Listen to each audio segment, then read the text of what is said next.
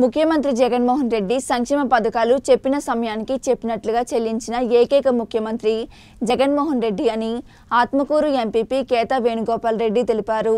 ఆత్మకూరు మండలం మురగల గ్రామంలోని ఎస్సీ కాలనీలో నిర్వహించిన ఎన్నికల ప్రచార కార్యక్రమంలో ఆయన మాట్లాడారు. ఆత్మకూరు మండలం మురగల్ల గ్రామంలోని ఎస్సీ కాలనీలో ఆత్మకూరు ఎంపీపీ కేతా వేణుగోపాల్ రెడ్డి ఆధ్వర్యంలో వైసీపీ నాయకులు ఎన్నికల ప్రచార కార్యక్రమం నిర్వహించారు. ఈ సందర్భంగా ఎంపీపీ కేతా వేణుగోపాల్ రెడ్డి మాట్లాడుతూ దివంగత మంత్రి మేకపాటి గౌతమ్ రెడ్డి ఆత్మకూరు తాలూకాలో ఎక్కడ లేకపోయినా మురగల్ల గ్రామంలో సొసైటీని ఏర్పాటు చేశారని తెలిపారు.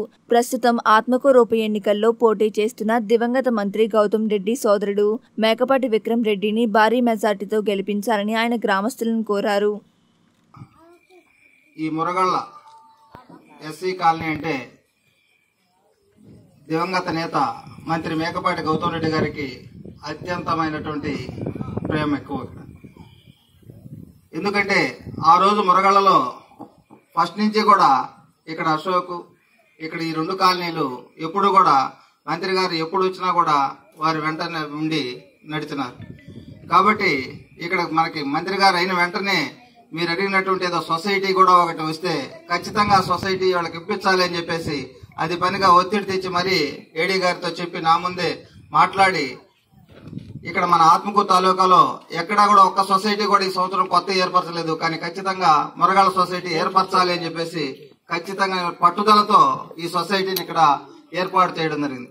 కాబట్టి మనం అందరం కూడా దివంగత నేత మంత్రి గారికి ఖచ్చితంగా కృతజ్ఞతగా ఉండాలని చెప్పి తెలియజేస్తున్నాం.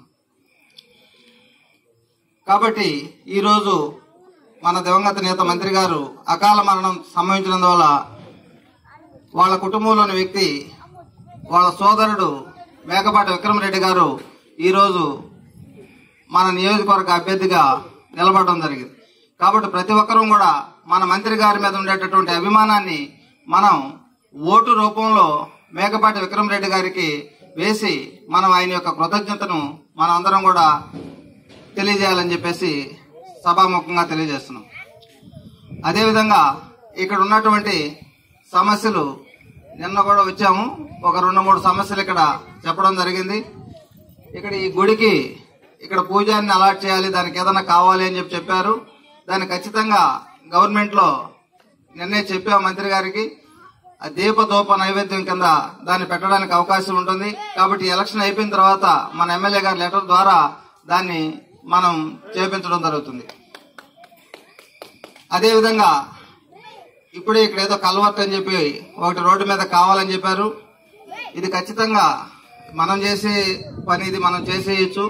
కాబట్టి ఖచ్చితంగా ఎంపీపీ గ్రాంట్ అనే ఇక్కడ మీకు ఇక్కడ ఇరవై మూడో తేదీ దాకా మనం స్టార్ట్ చేయకూడదు. లేకుంటే రేపే మీకు స్టార్ట్ చేసి స్టార్ట్ చేయించేవాడినది కాబట్టి ఖచ్చితంగా నెలాఖరు లోపలే దానికి ఎస్టిమేషన్ వేయించి దాన్ని ఖచ్చితంగా ఇక్కడ మీకు ఆ కలవట్టుని ఏర్పరచడం జరుగుతుంది.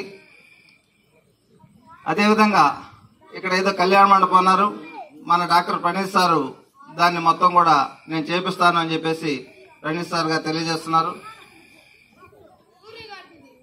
కాబట్టి ఈ మురగళ్ళ ఎస్సీ కాలనీ వాళ్ళు ప్రతి ఒక్కరూ కూడా మీ సమస్యలు ఏదున్నా కూడా మా దగ్గరకు వస్తే ఖచ్చితంగా వాటిని స్పందించి ఖచ్చితంగా ప్రత్యేకంగా శ్రద్ధ శ్రద్ధ తీసుకొని మీ అందరికీ చేసి పెడతారు. కల్వర్ట్ విషయం కానీ పూజారి విషయం కానీ అన్ని కూడా దృష్టిలోకి తీసుకొని ఉన్నారు ఆల్రెడీ. అవన్నీ కూడా జరుగుతాయి. ఈ పది రోజులు మనం చేయకూడదు కాబట్టి ఈ ఇరవై మూడు తర్వాత ఖచ్చితంగా జరుగుతాయి. అట్లే ఇక్కడ ఏమేమి సంక్షేమ పథకాలు జరుగుతున్నాయి అందరికి ఏమేమి అందుతున్నాయి అన్ని మీకు పూసుకొచ్చినట్టు మన సీన్ అన్న చెప్పడం జరిగింది. సో ఈ ఎలక్షన్ ఎందుకు వచ్చిందో మీ అందరికి తెలుసు. మన ప్రియతమ నాయకుడు దివంగత నాయకుడు మేకపాటి గౌతమ్ రెడ్డి గారు అకాల మరణం చెందటం వల్ల వచ్చింది.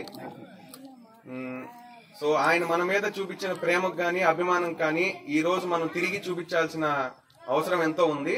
సో అది చూపించాల్సిన రోజు ఇరవై మూడో తారీఖు అండి. ప్రతి ఒక్కళ్ళు ఈ మీ ఓటుని అది ఆయన మీద ఉన్న ప్రేమతో కంపల్సరీగా అందరు ఓటులు వేయాలని ఎంతో భారీ మెజార్టీ తీసుకురావాలని కోరుకుంటూ మన మేకపాటి విక్రమరెడ్డి గారిని ఎంతో భారీ మెజార్టీతో గెలిపిస్తారని కోరుకుంటూ సెలవు తీసుకుంటాం థ్యాంక్